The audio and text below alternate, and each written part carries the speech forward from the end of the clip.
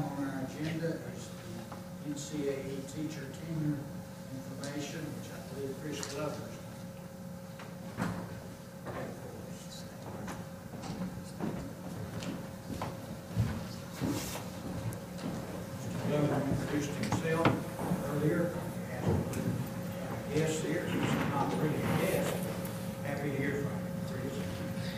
Chairman Hammer.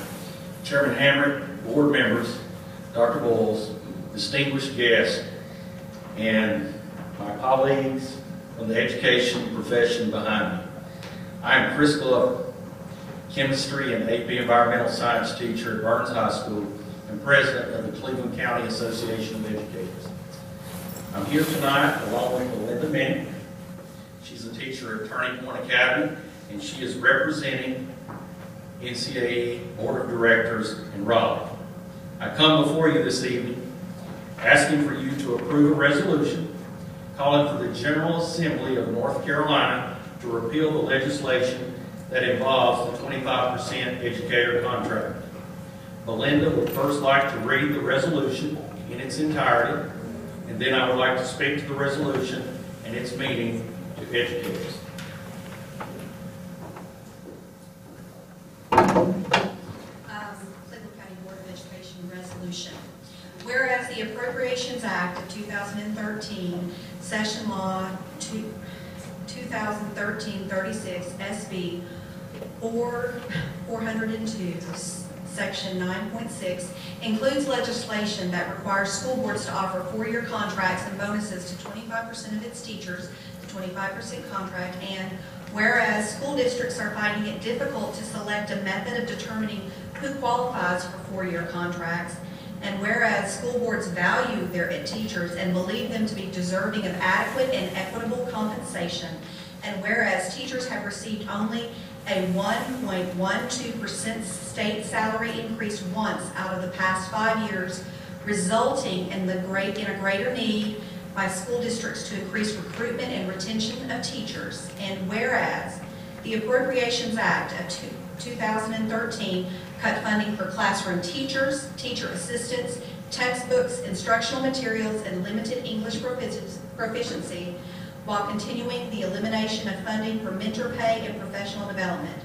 Now, therefore, be it resolved that the Cleveland County Board of Education requests that the General Assembly allow it to retain its prorated share of the $10 million allocated for the 25% contract to be used for alternative pay or compensation for additional duties such as mentoring or leadership roles.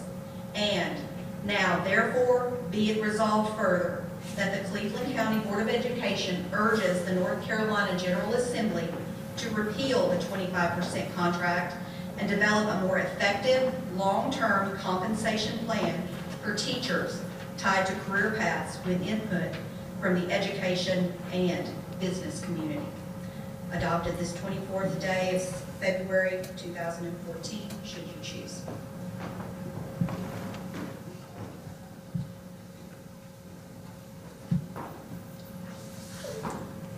First of all, let me say, Ms. Wampler and Dr. Boyles, I sincerely want to thank each of you for what you've done by working with teachers to make the best of this legislation. While there is no best way to deal with this issue, you have listened and responded to our concerns, and we are grateful for your work with us.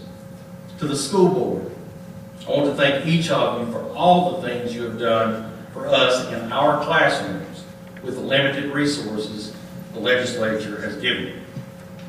I never thought I would have to lobby for public education in a state that is founded on the belief in public education. North Carolina's Constitution clearly states that this state will maintain a uniform system of free public schools. Our leaders even decided we also needed a public university for our citizens, and UNC became the first public university in the United States. Our 16 campus system has been a model for other state university systems. So where are we now in North Carolina? The legislature continues to slash funding for teachers, teacher assistants, classroom supplies, and textbooks. According to a story on National Public Radio, North Carolina is the first state to decide not to pay new teachers who earn an advanced degree in the United States. Can you imagine telling your doctor not to go back to school and gain more knowledge? And would any of us actually tell our students that more education is not really what you need? No, not in the state of North Carolina. There is an attack on public education, the likes of which I've never seen in my 24 years as an educator, across this great state of North Carolina. NCAE and school boards are coming together, standing as one voice, and telling Raleigh, we have had enough. Newspapers such as the Charlotte Observer state Cabarrus teachers are torn up over giving up tenure for $500. The News and Observer, only in North Carolina could a possible pay raise become a nightmare for a teacher. The Washington Post, school board defies North Carolina state law abolishing teacher tenure. And now quoting from the Guilford County Schools Resolution of February the 11th, 2014, which most of us have heard about on state and national news. They stated in order to consider the contract offer, in order to consider the contract offer under the 25% mandate, teachers will not have sufficient information to make an informed decision when they are forced to decide whether to forfeit their vested property right to tenure, which was earned in good faith through dedicated service to the students of GCS in exchange for the four-year contract. A fundamental principle of contract law requires parties to know and to understand the bargain they are making. End quote. Our association, the NCAE, filed suit against the state of North Carolina this past December to stop the removal of career status from teachers who have earned this property right. A property right that is not true tenure like the university system, but a guaranteed right to a hearing before this school board and or a hearing officer before being dismissed. Administrators will still be offered this option. Why not teachers? So what are other problems with this legislation do we see? I've heard legislators and the news media say that the teachers who are chosen represent the top 25% or the best 25% of eligible teachers. Here's problem one. The word top or the word best is not in the legislation. I'll read the legislation. All superintendents shall review the performance and evaluation of all teachers who have been employed by the local board for at least three consecutive years. Based on these reviews, the superintendent shall identify and recommend to the local board 25% of those teachers employed by the local board for at least three consecutive years to be awarded four-year contracts beginning with the 2014-2015 school year. The superintendent shall not recommend to the local board any teacher for a four-year contract unless that teacher has shown effectiveness as demonstrated by proficiency on the teacher evaluation instrument. So now we must take the list and not call the list that we presented to you the top 25% or the best 25%, just the selected 25. Problem two, could we still say they are truly the best 25% of eligible teachers? Again, we need to understand the legislation. The word teachers is used generically in the legislation, and it actually includes counselors, instructional resource teachers, and media specialists who are not evaluated on the teacher evaluation instrument, but on a different evaluation instrument. According to the Attorney General, the definition of teacher also includes social workers and others who are not teachers, but are paid on the teacher salary schedule. How can we compare teachers to each other, let alone with other employees from other specialty areas? I have what is known as an EVAAS data effectiveness grade. My colleague Ann Goss, who's in the audience tonight, is a two-time Star Teacher Award recipient and whose students consistently receive superior ratings at the North Carolina State Choral Contest. And she has no EVAAS data or North Carolina Final Exam. The arts are just as important to students as the academic core. How do we compare teachers with test data to teachers without test data? Researchers have been asking this same question for decades. And our legislature wants us to solve the problem now. Problem three, the appropriation for this four-year contract has only been funded for one year. One might conclude that the intent of the legislature is to fund the contract for four years. Well, please let me inform you of the other intents of current and past legislatures. ABC bonuses for expected or high growth were supposed to give teachers and teacher assistants raises for each year a school shows growth. ABC legislation remained, raises were withdrawn for lack of funding. Mentor pay.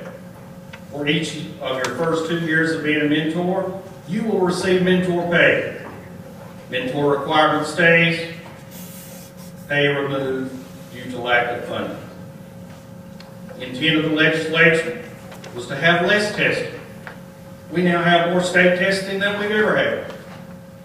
So when it comes to a contract, intent will simply not cut. Is it funded for four years or not? A simple question. I've asked the question to two members of the legislature. I have the emails here. I have received no response. It's a simple yes or no for a very important component of the contract. The question could not get any easier. Is it funded for four years? Yes or no? If appropriations have not been made, then how can this contract even be offered?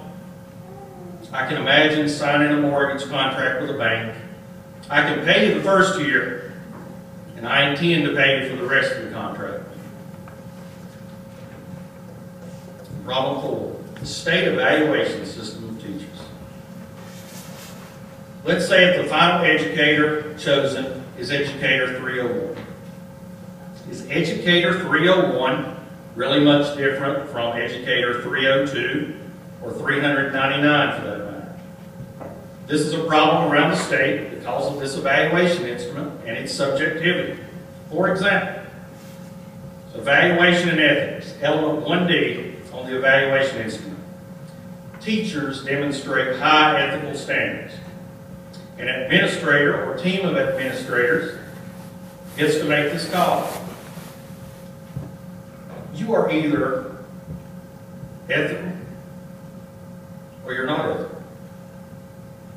If we say teachers demonstrate high ethical standards, is there really a developing, proficient, accomplished, distinguished area of ethics?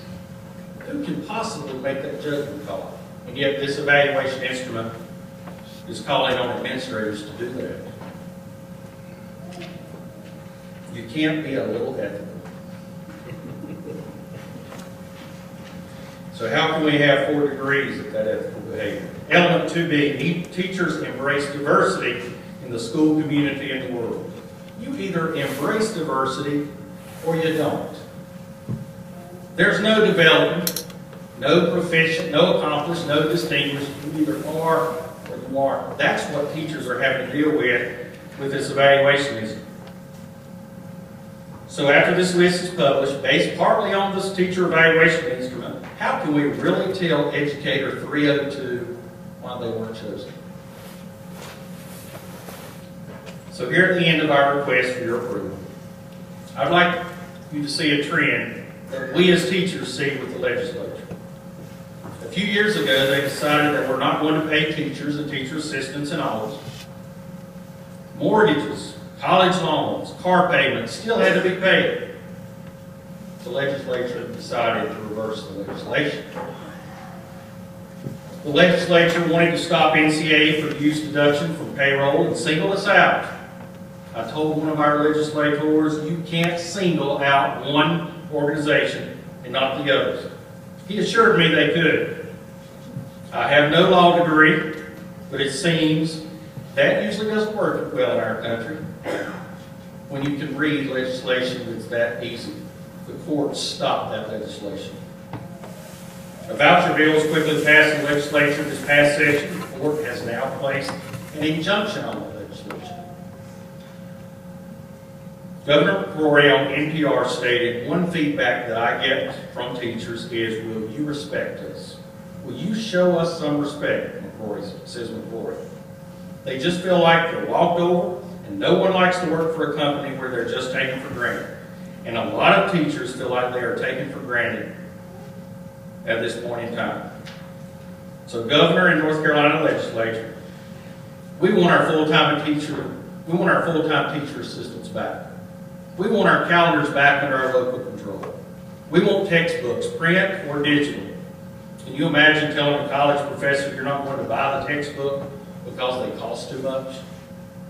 And if you're going to require us to test during the last five days, is it really too much to ask that we get the scores back within two days? We have a little thing called valedictorian, salutatorian, and graduation. We need them. And lastly, repeal this 25% mandated contract legislation. As Dr. Martin Luther King said many years ago, our lives begin to end the day we become silent about things that matter.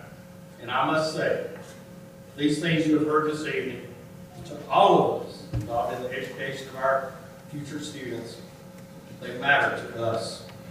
I thank you for your time. Board members, let us all stand united together tonight. I ask for your approval of this legislation.